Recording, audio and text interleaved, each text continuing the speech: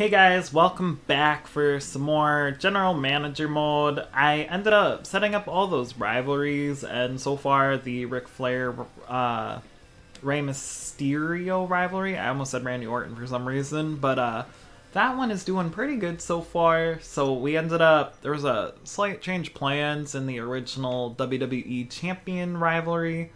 So I threw Mick Foley and Steve Austin together, then we got Kelly Kelly and Michelle McCool, and then our tag team rivalry. And I ended up changing it up too because I actually do have a better idea for CM Punk Taker, but I gotta change one of them to Dirty because I totally forgot they're both clean superstars. If you are new to the channel, feel free to drop me a like and a sub. It helps me out and it helps this video and the channel out. And I totally forgot last time we did this, I did not even check the SmackDown and ECW ratings to see what made them better shows than mine. So I could already see that ECW picked up some of my created superstars since in the first match, Default picked up the victory against Steve. And then Mark Henry and Composite Chris Jericho ended up picking up a victory. It looks like they're pretty much straightforward matches over here. That seems like a good main event. I don't know why it was better than my show. Maybe I'm just being like picky because I wanted me to win. But let's see how SmackDown did. They also had kind of a random cruiserweight match, but I don't know what Batista did to get beat up by Edge, Lashley, and Sabu. And then, alright, I totally understand why they ended up getting first place in the 100,000 because this right here is a legendary main event we had Terry Funk pick up the victory over Melina, and The Rock was also there. So yeah, now that we've seen last week's results, so let's go ahead and book my show. I'm gonna start from the top to the bottom once again. So I'm thinking we're gonna go ahead. Unlike real typical wrestling and TEW, you kind of just have to book the same guys in the same matches every week, which gets kind of old, but that's how you get the ratings in this game. So we're gonna have Steve Austin face off against Mick Foley. I'm going to have a dirty clean turn. I think out of the two, it makes sense for CM Punk to turn.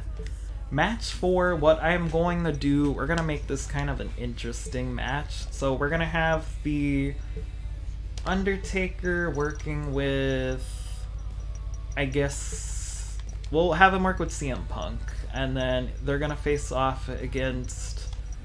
All right, we're gonna go Matt Hardy and Mickie James because like I'm out of. I should maybe pick up another guy or two, but yeah, that's championship matches right there, and it kind of lines up with the whole match like on SmackDown and I didn't even have to like choose the guys for this one. I just knew who I wanted for match three. So now for the first promo, I'm gonna do my money.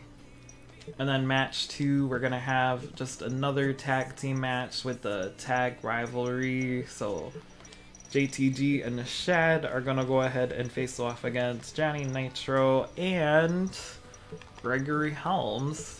So now who do I have left? we're gonna need... Oh, okay, hold on. Let me actually change that up a little, because rather than having Mickie James as the partner, we can have William Regal as the partner, which is kind of interesting because last week they fought each other, but now they're gonna be a team, and actually, too, I should change that one with this one, and then this one with... Nah, actually, they have the better popularity, so I'll leave that as is. And then the first match, I guess, is just going to be a tag team with the ladies. So we will have not Mick Foley. We will have Kelly Kelly and not Mickie James because I'm pretty sure she's the one that's dirty. So Kelly Kelly and Torrie will face off against Mickie James and Michelle McCool. So there. Pretty good show, I think. I made it a little better since I didn't have like Matt Hardy and Mickie James as a team. But let's go ahead and we're gonna simulate this one and see what happens. So it looks like Michelle and Mickie pick up the victory. Another loss for Kelly and Torrie, unfortunately.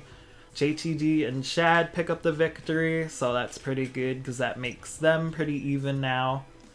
Undertaker and CM Punk ended up getting the win, which this is one of those that I probably should have actually played, but here's how the story will go. Basically, CM Punk betrayed Undertaker, so he still got the win by himself, but now they're going to be rivaling or in a rivalry with each other. Then Mysterio picks up the win against Ric Flair, but it was a non title match, and Mick Foley picks up the win against Steve Austin. So now, since it is Tuesday and it is another ECW event, I think it makes sense if we go ahead and send one of our guys over there to cause hell. I'm gonna do William Regal because he definitely needs the popularity boost, and there is his big popularity boost. And I'm thinking too, I'm just gonna keep doing events and activities rather than the training because it's not really gonna matter that much yeah, we'll do one more with William Regal. Might as well just boost him way up there. And then I'm also want to boost some of my top guys. So let's do a trophy date with CM Punk because he's kind of lacking in popularity. And then finally, since it is SmackDown, we're to go ahead and do another brand invasion with Torrie Wilson because why the hell not? She got a pretty good success. So we do not have any new emails, but let's go ahead and see how we did this week. I'm hoping we got some fans. Mick Foley got the match of the week again. But of course, our friends over at SmackDown once again pick up the victory. So now we are definitely falling a lot farther behind. That is not good. How are the Power 25? It is still kind of the same. I don't think Alright, Rey Mysterio and Undertaker did move up, and I didn't even realize that ECW had DX. CM Punk's starting to move up a lot, Ric Flair fell a little bit, and Matt Hardy fell. So now we're gonna probably want to just keep working on our popularities and all of that good stuff. I'm gonna actually to just see how they did before I forget this time at least ECW seems to have pretty straightforward matches. And then what about SmackDown? They actually booked the woman together in a match this week rather than minus they kind of took my idea in a way because they were like here we're gonna throw the rock with candice michelle and that's a great tag team. And then i don't know what it is with them and the like three on one matches. Maybe that's what i have to do in order to get good ratings on my show. So I think we're gonna actually go ahead and just do one more week of Raw because it is still pretty early in the episode. So I think we're gonna take it up a notch and I'm gonna do table main event between Steve Austin and Mick Foley and it is going to be for the WWE Championship. Then promo number two, we're gonna go ahead and I guess let's go ahead and slander, because that should hopefully gain me a couple fans.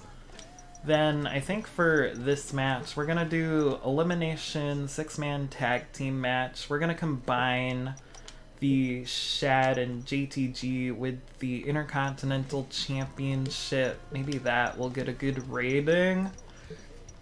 And we're to need Rey Mysterio over on their side.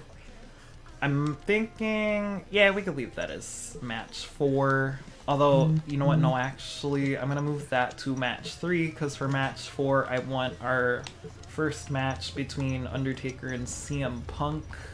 Then for promo one, I'm gonna go ahead and get me some more money.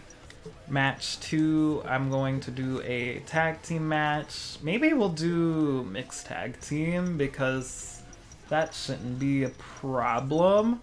I think we pretty much booked all our rivalry to minus like the people that aren't in a rivalry. So I'll do Matt and Torrie and then I guess William Regal, they're gonna go back to disliking each other again, and he can have. I don't know why I keep clicking Mick Foley when I need Mickie James. And then our first match, Kelly Kelly is going to go after Michelle McCool for the Women's Championship. So there, this is a pretty good looking card in my opinion, so maybe we can get the win this time. So let's go ahead and simulate all of that. So now to start off the night, Michelle McCool defends her Women's Championship against Kelly Kelly. Matt Hardy and Torrie pick up the win against Regal and Mickie. JTG, Shad, and Mysterio pick up the victory against Helms, Nitro, Ric Flair. Undertaker wins against CM Punk, and Mick Foley is still our WWE champion. So now let's go ahead. We gotta cause hell every week. Just keep. They keep getting all the fans, which maybe I keep bringing them over there. But if I keep sending my guys over there to cause hell, maybe people will be like, hey, we gotta watch Raw. So that was a big success with Foley. Let's set up some of our guys on trophy dates. Yeah, I'm just doing complete random at this point because it's gonna slowly help everybody grow in popularity because the goal is to eventually get everybody to 100, which kind of looks weird, but it will help our show out a lot. Now for our SmackDown interference at Johnny Nitro, yeah. So that was a success. So now ECW has a pay per view, so that's kind of interesting. They're just a random pay per view in Japan, so I guess that's just one more opportunity for me to go over there and cause hell yeah, what the hell? We'll send Undertaker all the way over to Japan just to interfere with ECW's pay per view. Which that's right too, because they have a pay per view. They're gonna probably still not get the jump in fans, because apparently SmackDown earned 400,000 fans for their pay per view. That's one thing I don't like about this version of the game, because I think there are a lot of glitches and errors since they added the third brand into the mix. I am falling a lot, and ECW, ironically, is now the number one show. So let's see. Power 25, we are officially number one, so we gotta keep Foley up there. Damn, he's. I should just book him in one more, like, either trophy date or an interference so we can hit 100 popularity. I should also, too, let's see how the ECW pay per view did and they did not even book a first match to open the show. They had Default pick up a victory against Steve, then they had a big tag team match, another kind of big tag team match, and I guess the theme of this pay per view was five and six man tag team, with the exception of these two. They're just like, y'all are not popular enough so yeah, I'm thinking eventually too, I'm gonna do some trades to get some of the guys I want over on Raw and all of that good stuff. But that's gonna be it for today. So thank you guys for watching. Make sure to comment, like, and subscribe. And I hope y'all have a pretty brilliant day. Bye.